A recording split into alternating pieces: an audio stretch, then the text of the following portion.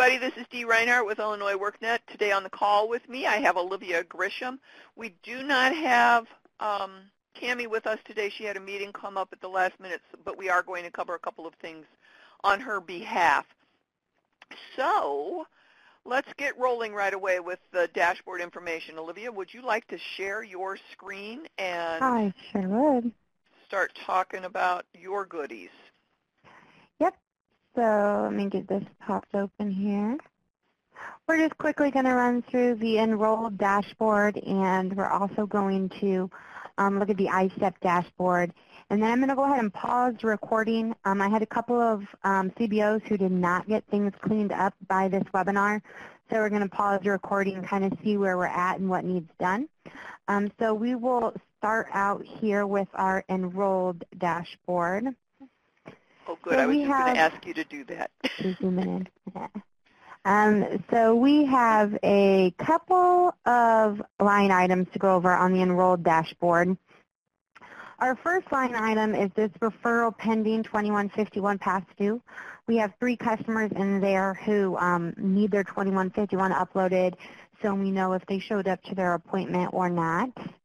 And the second row is this referral accepted and enrollment started, enrollment required. We have 44 customers who have an uploaded 2151 with client services initiated, meaning they were accepted by the CBO, but they have yet to be enrolled in a training program. Customers need to be enrolled in a training program not long after they have been um, accepted by the CBO, so we're, we need to make sure we're saving that spot for them. So even if the training program doesn't start for another month or two, we need to make sure we're getting them enrolled right away, so that way we're saving a spot for them when it is time to start that training. And the second row is the CBO needs to upload past due. We have 71 customers still in this row, and we are at the end of the month, and this is supposed to be done between the 1st and the 5th. So if you have any of the customers in this row, if you have any numbers showing in your row on your dashboard, get them cleaned up as soon as possible, or you're not going to have an upload for the month, which can result, when monitoring happens, it can result in um, some findings if you're not doing what you're supposed to do according to the policy. So make sure that you're doing this every single month. Do not skip months, and it needs to be done between the 1st and the 5th of every month, not not later, not a week or two later, between the 1st and the 5th. So make sure Kelsey- you're getting those numbers cleaned up Kelsey does have a question about that. Kelsey's typing, but go ahead and talk, Olivia. I'll, I'll break in when Okay, and the last row on the enrollment dashboard is this completion status. Completion documentation needs uploaded. We have uh, three customers who need uh, their completion documentation finished. All right, so Kelsey's saying that if you enroll somebody on 412-2017, it shows up that their 2151A is late.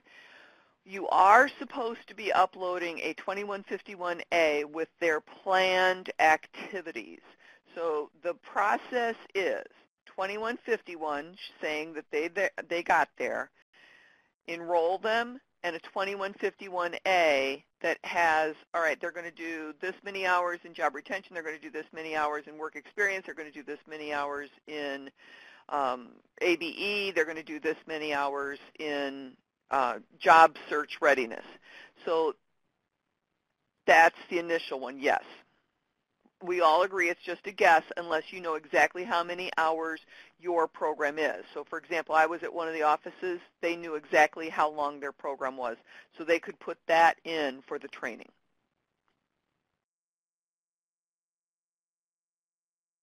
I have had it where we get a new intake on the 28th of the month. I upload the initial, then the next due, it will show up as past due. If it's past the 5th, yes.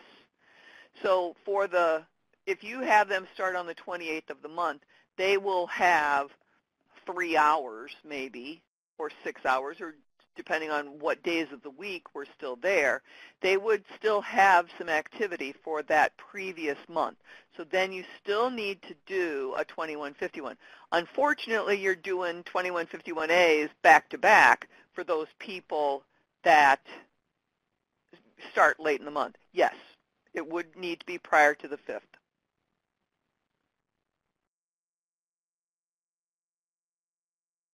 Correct. Correct. Eric just said he's done, uploaded a form on the 30th and had to do the report on the 1st before.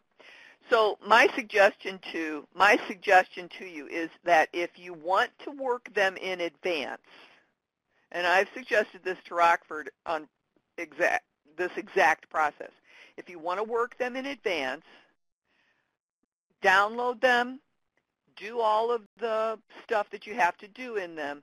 Make sure that it says for the month of whatever month you're working on the report for, and then wait until the first and just upload everything. So if you really need, if you have that many customers and you need to work ahead, just download them, work them, and then save them and just upload them all after the first of the month. But if you're doing that, make sure that, say you do them all on the 25th and say you're done and then on the 26th something happens with the customer that wasn't expected or they got fewer or more hours, those need to be updated before they're um, uploaded into Epic between the 1st and the 5th. So That's if you do them correct. early, that's great. Just make sure you're updating them to reflect the entire month, those last couple days that you didn't, you had it done before, before you get them uploaded. This is just a suggestion. You don't have to do that. Okay, so I'm going to go ahead and pause the recording and kind of go a little bit deeper into the enrolled dashboard now. Alrighty, so on the iStep dashboard, um, I'm just going to go through this briefly. It's the same same as last week. Um, you know, we have all these uh, these three statuses right here. Um, if you have a customer who does not need any personal development steps or any um, engagement in that area, you can go ahead and mark them as complete in that section um, in their time in their yeah status line. And um, so that way, when we go in and look, it doesn't look like you just haven't added anything. We know, okay, you've evaluated and assessed them in this area, and they are done. And once they complete all the steps in that area, you can also mark them as complete. Um, for the career planning section, same thing goes. Once they've finished it, you'll obviously mark them as complete. Um, but nobody should have no career planning steps. Um, all of our customers should have some type of career planning activities going on at some point in their engagement with you. Um, and so this no steps identified, that should be zero because everybody should have steps in there planned regardless of if they've started, completed, or they're actively doing it. Um, they're all going to need a step at some point. And then it looks like we have gotten quite a few more of our target occupations selected. We still are missing about 30% of our customers' target occupations. So if you can um, have customers in this row, go in and get them updated um, to reflect the goals they had set for themselves in their application or the training program or whatever they've expressed to you as their goals for their target oc- occupation. And then for the academic and technical training, um, there may be a few customers who are pre-employment only customers who do not do any um, academic or technical training, but the majority of our customers will have steps in here. Um, I know for sure 21% of our customers that is not correct. We only have a very small percentage of customers in pre-employment only, so this number should be a lot lower. So if you have customers in there, go in there and get them marked with the EPIC step that they're going to be participating in, or if they're doing um, diesel or adult education, we just need to get those marked in there so we understand everybody's plans and where they're going. Do you and guys have any? have we do have that worksheet that you can use so that if you aren't sure about what steps somebody needs to have, that you can use that worksheet to help you figure that out. At, at minimum, what you should be doing is going in and marking their target occupation and their um, target pathway, and I can show you when I demonstrate something else in the uh, ISTEP how to do that. The worksheet is not in the files below, but it is on the partner page, on the partner resources. I was going to show you where that was. I was just trying to find it as I was talking. It's kind of hard for me to do two things at once sometimes. Um, all right, so I will show you I will show you that in just a moment when Olivia is done. Um, I don't have anything else um, on the ISTEP dashboard. As long as anybody doesn't have any questions, we'll go ahead and move forward.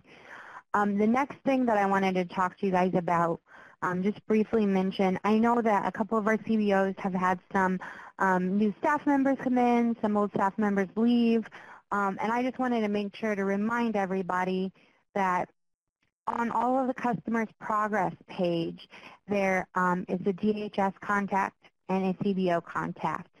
And if um, you have any changes in your staff at your office as it pertains to EPIC, just make sure you're getting your customer's progress page updated with the appropriate contact.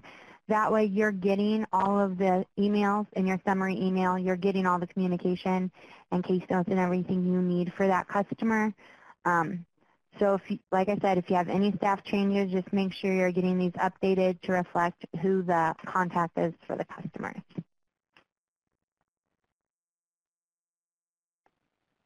And that's all I have.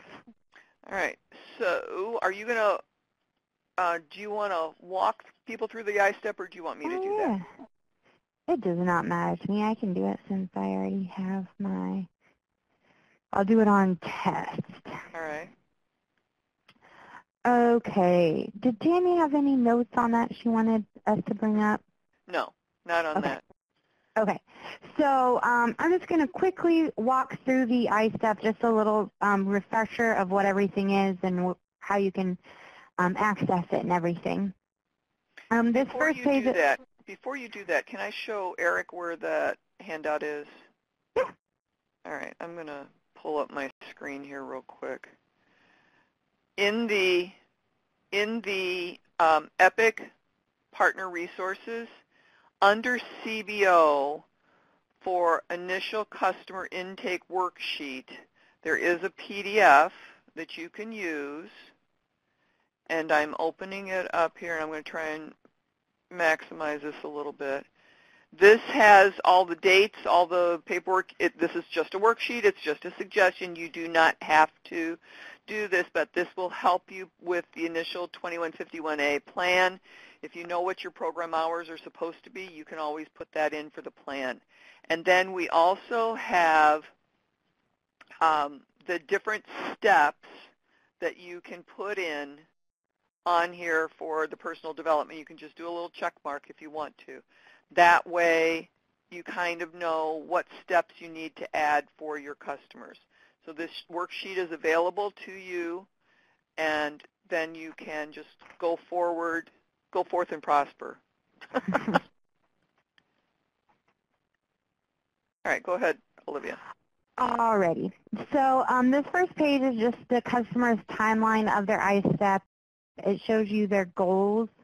So when you go in and you enter their career pathway choice and target occupation, you can easily refer back to that on this timeline page their wage goals, short-term short -term and long-term goals, and the um, training program that they're enrolled in. And then we also have their accomplishments. You can click on these links and it will show them, show you the different credentials that they have earned and the services that they are in. And then we have a timeline checklist. It is just a small overview of what steps the customer is working in. I'm in test, by the way, so mine might be a little bit different than what you're used to because it's all test material and information. Um, and this is just kind of like a quick, easy view to see where what they all have. And there you cannot edit or do anything on this page, but you can get a little view. And then we have the plan update history. It just shows you the customer's um, history of their ISTEP. So anytime anything was added, deleted, edited, anything like that. So, and then we have our three um, sections next. So we have this personal development section, which we have the timeline and status, and this is where you will mark them as on track, off track, or complete.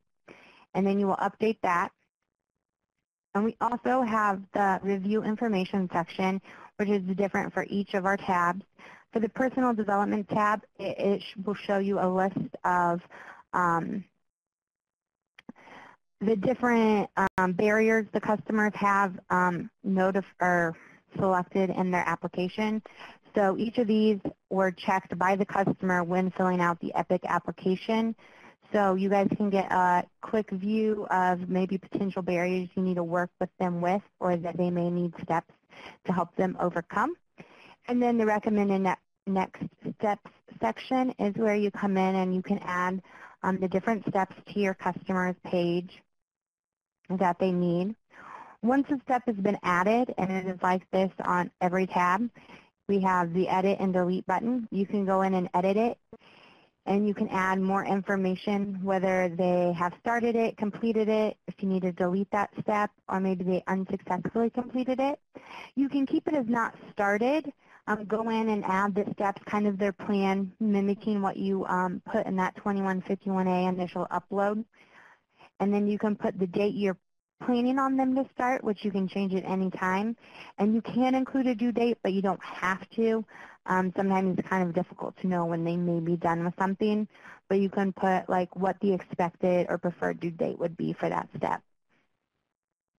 And then you can enter in credential information and um, dollar value and the service provided for that step. And Dee's going to go over that a little bit more when we talk about our updates. And then the career planning section, just the same with the timeline and status. You can do on track, off track, or complete. Um, the review information here is looking more at their um, employment information and goals. So you can, this is where you'll come in and edit it to select their target pathway and target occupation. And this is where you can put in all of their information on their goals and um, their goals for employment. And then again, they have the add next steps where you come in to add your next steps and you can edit and delete those just the same as the personal development steps. And finally, our academic and technical skills tab, same timeline status. Um, this review information section here is going to show you um, their um, academic information from the application, so the highest level of education they completed.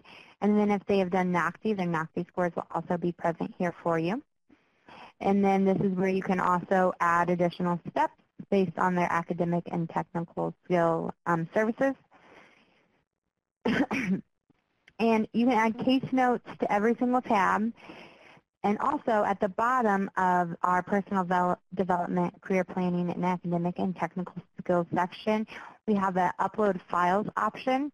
So um, you can upload like a copy of their resume, maybe certificates they've earned during their academic or technical skills, um, things of that nature. And then um, the highlights and notes tab um, will show you all just an overview of files and case notes by each tab. So you can quickly come in here and see any files you have uploaded or look at the case notes based on the three different sections in the ISTEP. So do you guys have any questions on the ISTEP? Because the ISTEP is very, very important. This is what we use to help determine what benchmarks are reached by the CBOs. So this is where we're looking to see, okay, did the customer do training with you guys? Um, what services have they done with you? And then Tammy will use that when doing the financial side of things and seeing, um, doing the re whole reimbursement part of this. So it's really, really, really important that you're getting this I-STEP up to date and making sure you keep it current because it is reflecting what you guys are doing. And we want to make sure that it is all reflected and that we're not missing any pieces of information there.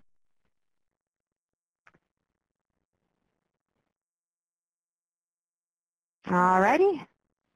I don't see anybody typing anything. I don't either.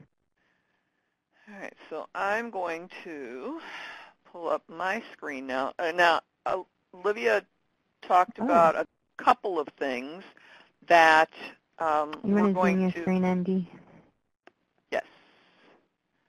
Um, Olivia covered just briefly, touched on a couple of things that aren't out into production yet, but will be. So that's a couple of the things that I want to show you right now. As she mentioned, when you edit a step, the new information, oh, I'm live, whoops. Uh, the new information that's going to take place is when you're doing uh, career planning steps or academic or the personal development, you will now have the ability to add a service provider. So if you add the service provider, you will have to fill in the required information. Uh, in many cases, you might not be the service provider. You might be sending them out to a community college or you might be sending them off to a drug rehab facility. Uh, whatever that is, that's what you would put in this information. Then the dollar value is optional, but it's useful, especially if you're doing bus passes or car repairs or something like that so that you want to keep track of those dollars that you're spending per customer, for each customer. This is not going to transfer to your financial documents. This is just for uh, information for the caseworkers who know this stuff. So all of those dollars are still going to have to go through your fiscal agent to make sure that that information is there. When you add a credential, say this is successfully completed, then there's a start and an end date, and you can save it. Now, if it happens to be, I'm going to move, move to academic, and if there is a step here that this has been completed successfully, it will open up and ask you if there was a credential. When you enter the credential, you can pick what it was, copy of certificate, what uh, was it the occupational skills license, when was it obtained, what institution, and I've been using someplace community college put in a description, and I'm not going to type too much there. Uh, when was the start date? If you know, you can put that in. Maybe it was the previous month or the previous five months. Was there a due date? It's not required. Any notes that you want to have. So you save that. Once you've saved it, scan and upload a file right here. And I'm just going to pick something here off of my computer put a description, and this maybe is the food handler certificate, and that gets uploaded, and it shows up here on the left-hand side, so that's a permanent record for that file. Uh, anybody can see that. So that's great information that you can add to the customer profile that will be useful for maybe you down the road or for us uh, in any situation. The other thing that we have added is workplace skills. And this is a new tab here, but it's pretty much the same information that you had been doing before. One of the things this is based on, um, does DHS have access to those uploaded documents? Um, DHS has access to the ISTEP, right, um, Olivia? Yes. So then, yes, they should have access to those uploaded documents. Okay.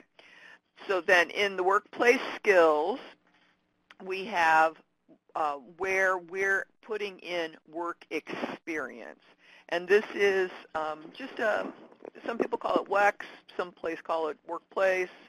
Um, whatever this is, is when you are the employer of record you as the CBO, not the permanent employment, only you as the employer of record. So it's the work experience that they're doing. You can review their employment history if they have any. So if you put them in more than one work experience, you can track that here. Um, we're going to have to double check this because it comes out of the work experience it it's fed by the work experience that is already in your um, agency file. So you're, you probably will not have to re-add it, but this is where you could come to in addition to adding it from your agency location. Okay, then what you would do, and, and you'll see this here right away, if I go to add a new workplace, so this is answering Eric's question right, he was segueing for me. So if I go to add a work-based learning or a job placement, it takes me out to the other screen for the worksite placement information. And all I have to do is then add customers. And it gives me the list of customers that I can add, and it will, now I forgot who I was on, but it wasn't, we're working on getting the lists to, to work properly. That's why it's still not out in production yet. But you would add the customer, and it would show up um, here, the information, what their hourly wage is, what their position is, is it full-time or part-time, is it open, what date did they start, and you can backdate on these. You cannot uh, post date, meaning you it has to be something that is already started or starting today. It can't have can't be starting in the future. And then you add this. Then when you do your payroll update here, what that will do is show up on the customer file where I just was. Now, unfortunately, my test person was not working properly, so I, I have to apologize for that not showing, but it will show up right here underneath the employer name and date, and then once you enter any payroll, it will show up under the payroll section that has been uploaded as well. And you can add payroll here. So if you only have work experience is unsubsidized employment. No, I'm sorry. Work experience is subsidized employment.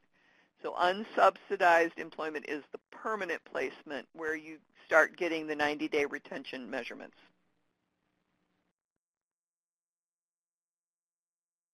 Okay. Um, all righty. Um, that is the workplace skills. The other thing that I wanted to show you is we are working on the customer view for the iStep. So now I'm going to open up a different window, and I'm logging in as Mary Blige. So I put in her username and password, and this is taking me to Mary Blige's account, but it's taking me to her Epic account. So what I will be able to do through Epic on the customer view is see the application and all the information that was entered by me as the customer on the application, and then I can go to my iStep and I can see what has been entered for me on my iStep and where I am in that process. So it has no provider entered. That means that the provider wasn't supplied into the list yet, even though it was successfully completed. We can go back and do some of these things if you have the time to fill in the provider information. Um, but right now, moving forward, we would just like for you to try to get all of that filled in. The other option that happens now is if the customer prints this, you can uh, print, and I'm going to print this to a PDF so that you guys can see it.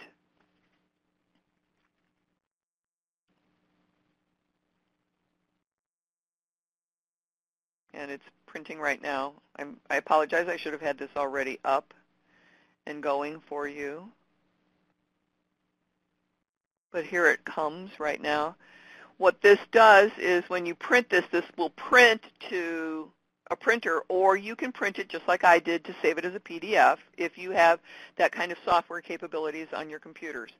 But it will tell you a copy of your individualized iStep is available in your Illinois WorkNet account. Go to, log into your account, select My Dashboard, select Epic to see your Epic step and related information.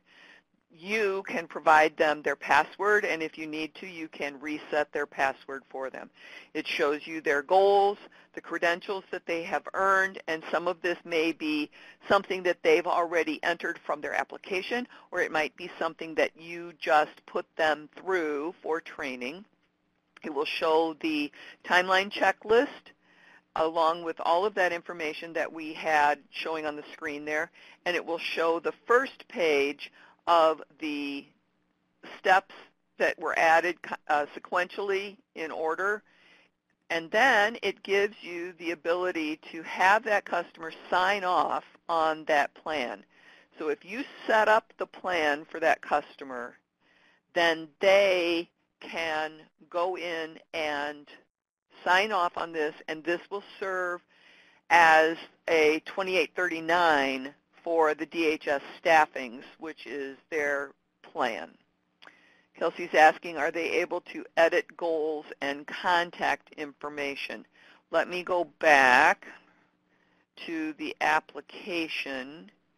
It looks like they cannot edit their application information, but you are able to edit their uh, name, address, phone number, and email from their um, correct. They could just look at their application, and they can just look at their goals.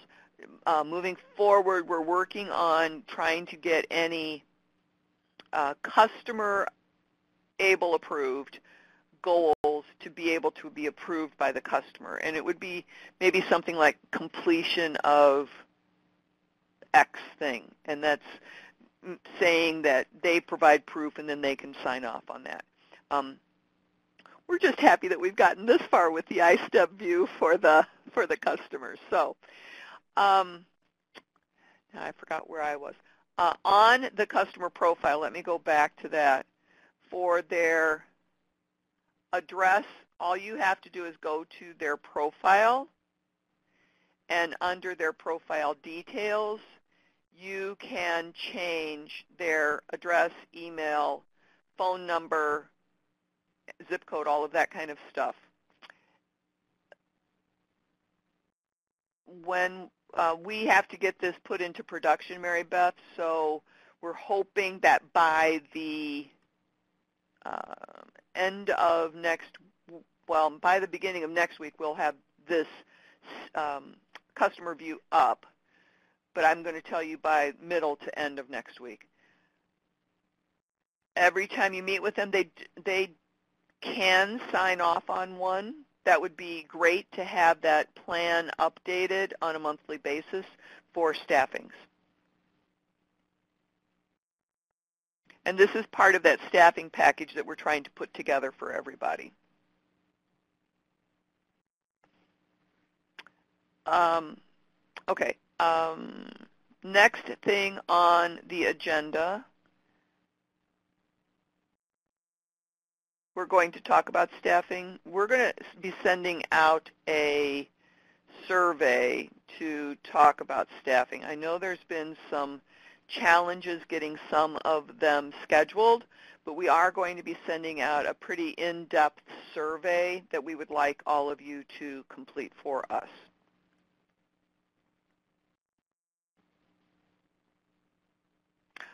I would have thought that you would have scheduled May when you finished up your April staffing, so that's not surprising to me.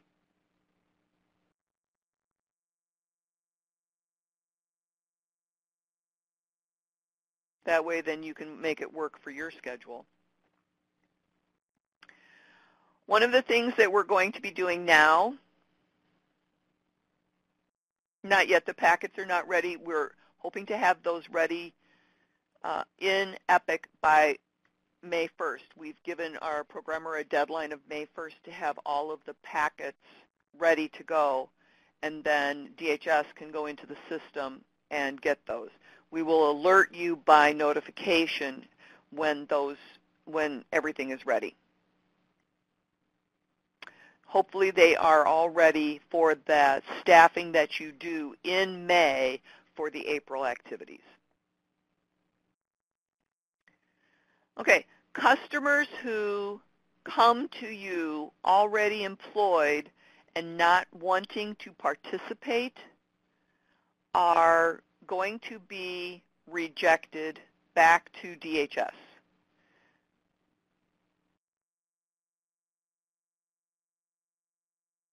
Kelsey, what do you mean by not done?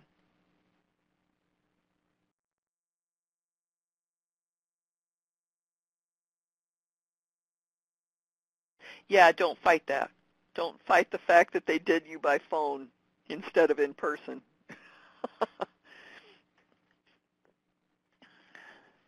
Our goal is to have everything done by phone, but we're getting pushback from DHS on that.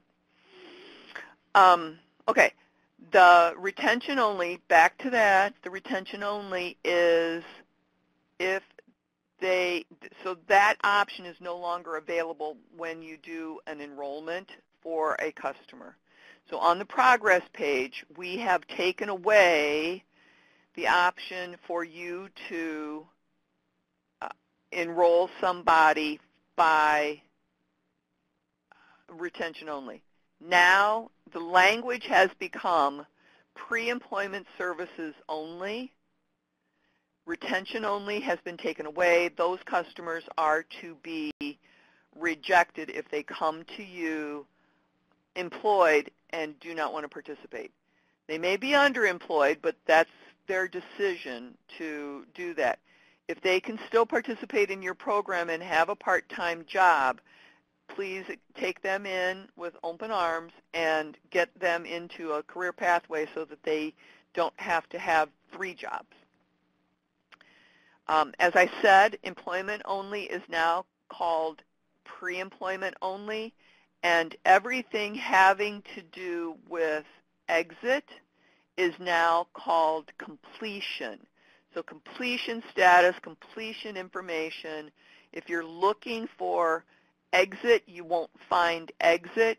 You will see not completed, successful completion, or unsuccessful completion. Um, additionally, we have two new pod offices, one in Skokie and one at West Suburban in Melrose Park. So the Skokie office is the northern office, and the Melrose Park office is the West Suburban office. Those should be up and running within the next week. Uh, they've been going through training so that they can make sure that they get everybody done in the right time and the right uh, manner. Additionally, we have all of the new instructions that have been updated since the last webinar that we had with you guys. They're all in the file pod or they are on the um, EPIC Partner Resource page. Mary asks, how many times is a customer allowed to reschedule a conciliation appointment? They get the 2846G with appointment date, call to reschedule the date, then call to reschedule again. Oh, no, no, no, no, no. Um, it needs, first of all, it needs to be a good faith reason from that list of good faith reasons, and I would give them one chance to reschedule and then call DHS or send a case note that says this customer has tried to reschedule a second time and uh, call the primary contact if you're not getting good response. Um, we will find out for sure what they say, but I'm almost positive that they're not, they wouldn't allow that to keep happening. Does that answer your question, Mary, too? All right. And and if it's something like they're saying they've got a doctor's appointment or whatever, make them bring you a doctor's note saying why that they missed that appointment. Make them show proof, because that's that's just Anyway, all right. I'm not going to finish my sentence. all right, we have some information that Tammy wanted us to share with you. I have one more thing to add, though, before oh, we go sure. on. Um, one thing um, I did want to mention is that Um, customers cannot be rejected after they have been enrolled into your guys' um, organization. So if you've accepted them and enrolled them into a training program, you cannot turn around and reject them a couple months later. If that is the case, you need to do conciliation with the customer um, to resolve whatever issue came up for you rejecting them.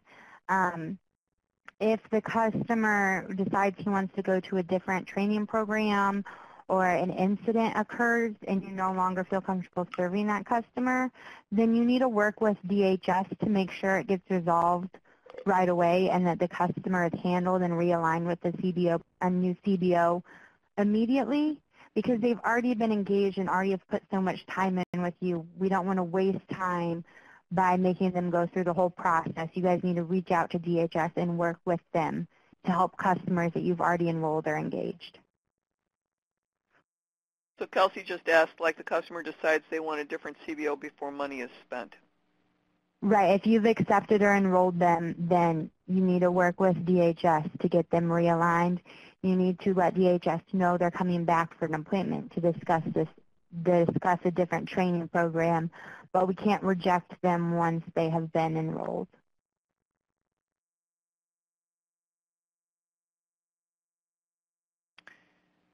Um, if they're Kelsey, if they're not responding, copy us, and we'll go up their chain of command.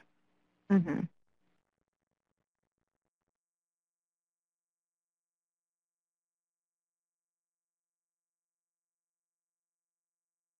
Yeah, you do. um, please set up a procedure so we can make our best faith efforts. I'm not quite sure. Kelsey's a typoholic. She just wants to talk. All right, I'll call you after the webinar. Um, okay. Um, Olivia, do you want to go over this information that Tammy? Um, yeah, let me find it's it. in the it's I in haven't. the file. It's in the it's in that pod. Okay. Okay, so Tammy wanted us to let you all know that the department grantee report is due May 1st. Um, she sent an email on 414 at 918 um, with instructions on completing that report. They must, um, you guys need to submit the G DGR for activities through March 31st, 2017. Um, the trial balance report that identifies all cash and costs through 331-2017, and a crosswalk if we can't tie those cost reports in the GRS with the cost reports of the trial balance. So the performance numbers that you guys enter on the DGR need to be what you think um, they are on enrolled in training, completed training, employed, and retained. The instructions in the email stated that we will um, do a performance comparison. The performance measure numbers that you enter in the DGR will be compared to the CBO benchmark report and WorkNet to determine if um, they correlate. If the numbers are different, the EPIC team will work with you to determine if the services you have been reported in the customer's ISTEP and WorkNet are correct or if we need to make any updates to that to get it on top.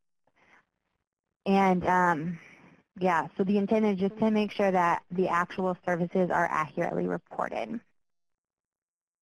Um, the retention numbers and the CBO benchmark report, um, that last bottom row, retention only, that was specifically there for retention only customers. Um, but since we have sent them all back to DHS and removed that as an enrollment option, that number is obviously going to be zero. It is not looking at the customers you have retained after getting them a job.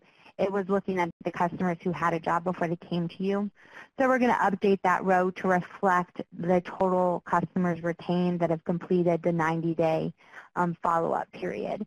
So that row right there, you don't need to do anything with this time on the CBO benchmark report. All right. And if you guys have any questions related to the DGR, you can give Tammy a call. Um, and she also wanted us to let you know um, that uh, we need the CBOs that indicated they could attend the Friday 28th training to identify who will be coming. If we don't have a full house, you can um, op we'll open it up to more um, CBOs attending. And we had um, we had Phalanx, Asian Human Services, CAPS, CARIP, Instituto, National Able, OAI, and Central State Steers and Jane Addams had all said that they wanted to come on the 28th. I have heard back from a couple people. If you originally were going to come on the 28th but can't now, we do have some spots available on the 12th, which will be at a safe haven. And, okay, inspiration, I believe you're now, you've contacted us and told us you're coming to one of them, and North Lawndale's not on the call, but um, we will be in touch with them. And then for Springfield, we will get in touch with you guys uh, so that we can figure out a date and a time that will work for everybody for the Springfield training.